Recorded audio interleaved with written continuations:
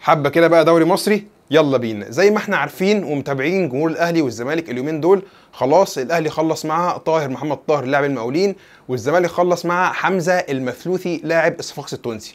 مين هما الاثنين اللعيبه دول؟ وإيه أرقامهم؟ وإيه مسيرتهم؟ وإيه مميزاتهم؟ قبل ما يجوا يلعبوا في الأهلي والزمالك. ده اللي هنقوله في الحلقة دي. بس قبل ما نتكلم في أي حاجة ال like وال share وال subscribe وافتح جرس التنبيهات وتعالى بقى عشان أحكي لك كل حاجة.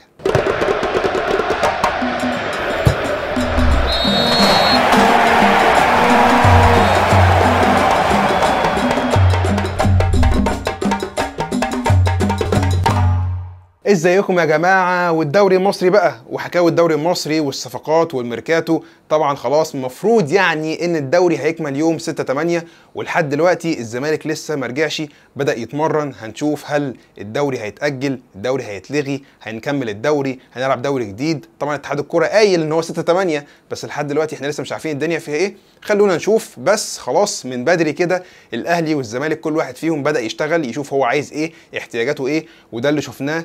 الأهلي طبعا بيتقال إن هو خلص مع طاهر محمد طاهر عشان في كلام إن رمضان خلاص مش هيكمل وهيرجع تاني هدرسفيلد بقى سواء يتباع بره أو بتاع لأن خلاص الرقم المطلوب فيه رقم كبير.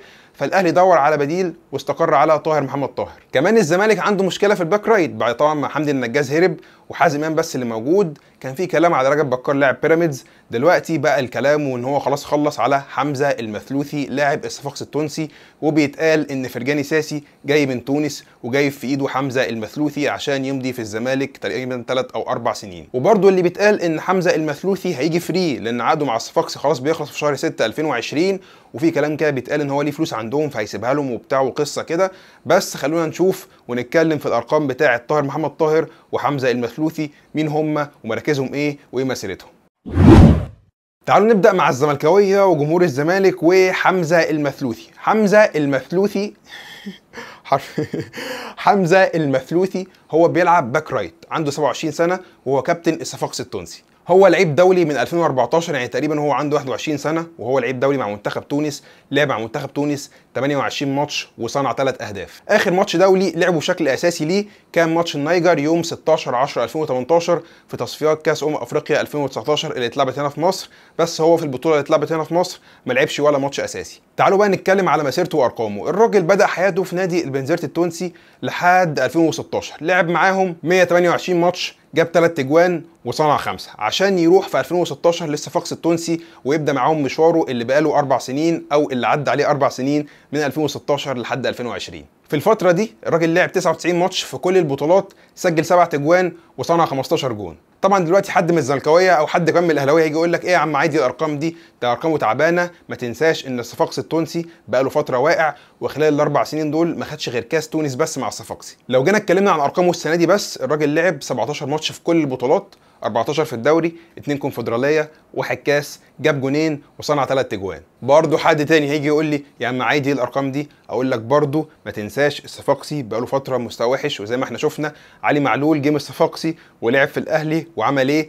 ممكن يكون حمزة المسلوسي أسهل بقى من المثلوثي حمزة المسلوسي يجي ويعمل شغل كويس مع الزمالك ده اللي هنشوفه الفترة اللي جاية. في مسيرته كلها الراجل حقق بطولتين بطولة الكاس مع البنزرتي وبطولة الكاس مع الصفاقسي. وطبعا زي ما إحنا قلنا هو لعيب دولي من 2014 وعنده 27 سنة وهو الكابتن. طبعا هو كابتن الصفاقسي دي حاجة بتديله تقل في الشخصية إن هو كابتن الفريق قبل ما يجي فيبقى عنده مميزات شخصية هتساعده إن هو يلعب في الزمالك. دي كده أرقام حمزة المثلوثي. طيب أنا اتفرجت له على كذا فيديو وشفت له كده كذا لقطة. زي ما إحنا عارفين إن الفيديوهات اللي على اليوتيوب دي بتجمع أحسن الحاجات للعيبة وبتجمعها في فيديو 7 8 دقايق وبتجيبهم. بس على حسب ما أنا اتفرجت يعني وحسب ما أنا شفت هو لعيب سريع تقريبا هو طوله متر وحاجة و80 سم لعيب بيحب قوي المساحات. لعيب دايما بيحب ان يستلم الكورة ويفتح على طول يتعمل له overlap ويروح في الحتة لوحده ويرفع ال over زي علي معلول بالظبط. دايما دايما أول ما الكورة تبقى موجودة في نص الملعب أو ال wing مستلمها ودخل بيها لجوة هو دايما على طول فاتح واخد الخط عشان يعمل ال over كمان هو بيحب دايما إن اللعيب ال wing اللي قدامه ما يبقاش ماسك الخط. يعني ما ينفعش تلعب بحمزة المثلوثي زي علي معلول بالظبط. علي معلول لو ال wing اللي قدامه مسك الخط خلاص علي معلول بيقف بيعطل. بيجي لحد عنده لحد ال wing وبيقف. حمزة المثلوثي برده نفس الكلام. دايما عايز الخط ده كله يبقى واخده لحسابه. دايما ال wing يضم لجوه ويسيبه هو يفتح عشان يعمل ال over وهي حاجة بتميز كل الباكات التوانسة؟ حمدي النجاز علي معلول حتى كمان حمزة المثلوثي لما اتفرجت عليه. طبعا هي المقارنة كانت بينه وبين رجب بكار والزمالك اختاره هو. بس أنا عندي نقطة عايز أتكلم فيها ليها علاقة بالمنتخب والكلام ده مش على الزمالك بس الكلام ده على الأهلي برده ان دلوقتي الاهلي والزمالك كل ما يدوروا على مركز مش عندهم يطلعوا على طول يبصوا بره. back left back right مهاجم معرفش إيه. لو جينا دلوقتي بصينا على المنتخب بعد احمد فتحي مين ينفع back right للمنتخب؟ محمد هاني. ها الراجل لسه بيشق طريقه الراجل بكر 30 سنة. مين يا جماعة هيبقى ال back right بتاع المنتخب بعد احمد فتحي؟ ده سؤال مهم جدا. زي ما الناحية الثانية back left علي معلول هو اللي شايلها في الأهلي. مين back left المنتخب يا جماعة؟ ده برضو مركز تاني إحنا عندنا فيه مشكلة. مركز راس الحربة. يعتبر مصطفى محمد هو اللي حل المشكلة دي بس ما ينفعش مصطفى محمد لوحده. لو لا قدر الله مصطفى محمد اتصاب. مين راس حربة المنتخب يا جماعة؟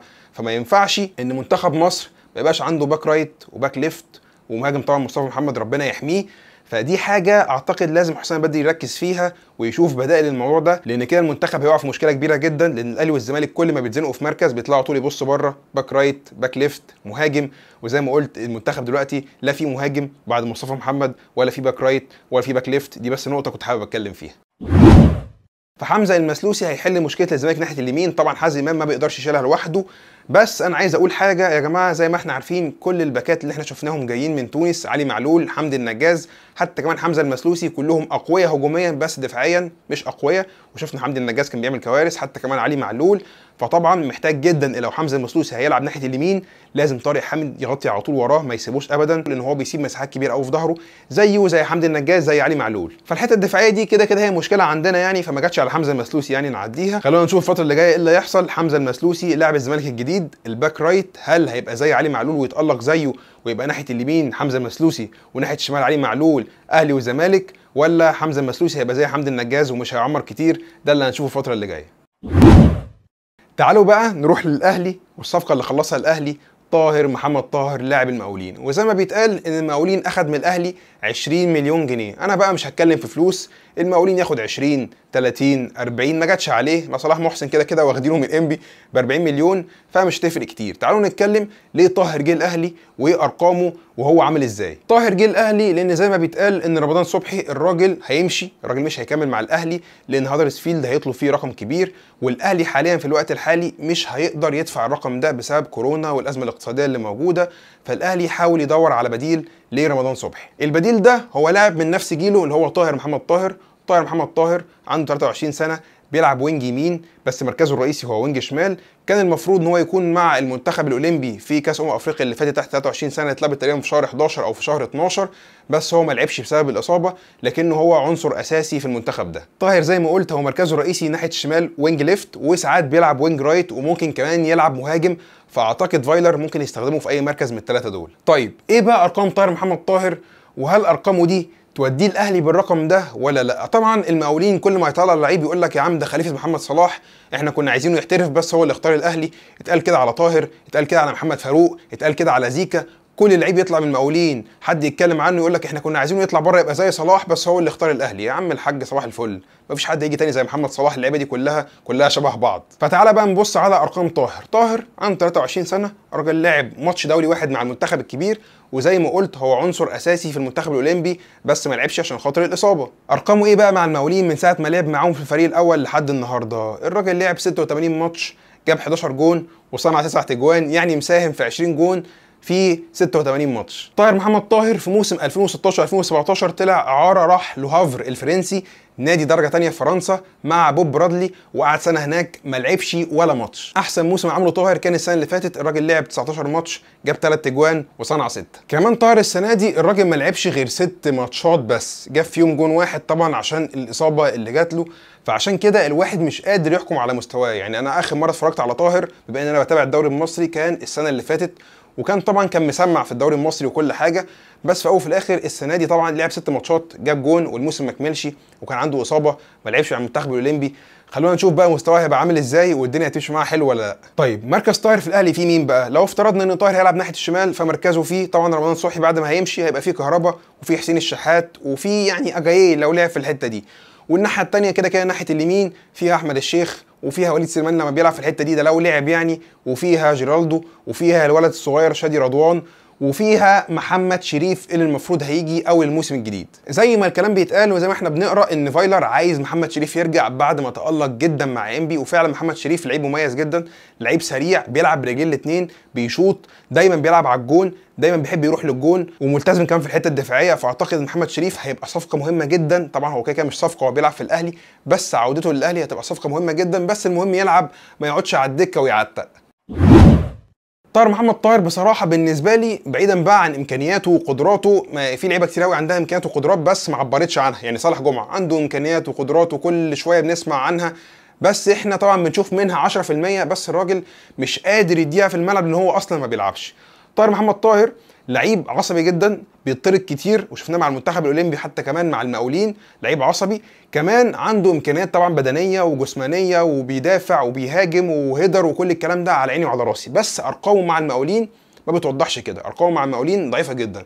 حد هيجي يقول لي المقاولين يا عم نادي تعبان ما بيهاجمش فأرقامه على قد كده كويس أقول لك تمام جدا أنا معاك بس في الأول وفي الآخر أنا كان ممكن أدفع ال 20 مليون جنيه دي أو ال 30 مليون في wing يجي يلعب أساسي مش wing أجي أجربه أشوف هينسجم وهينفع وهيديني أحسن من رمضان ولا أحسن من كهربا ولا لأ. فأنا كان بالنسبة لي إن إحنا لو جبنا wing عربي كده كده مش هتحسب علينا لاعب أفريقي مش هياخد مكان في الأفارقة يعني وكان يجي بمبلغ محترم ويبقى لعيب من اللعيبة اللي بتجيب 12 13 14 جون في الموسم ده كان هيبقى أفيد بكتير قوي من طاهر محمد طاهر. بس في أول وفي الآخر الأهلي خلاص اختار طاهر محمد طاهر طبعا أنا كراجل أهلاوي وإحنا كلنا جمهور الأهلي بنتمنى إن طاهر ينجح مع الأهلي ويكسر الدنيا.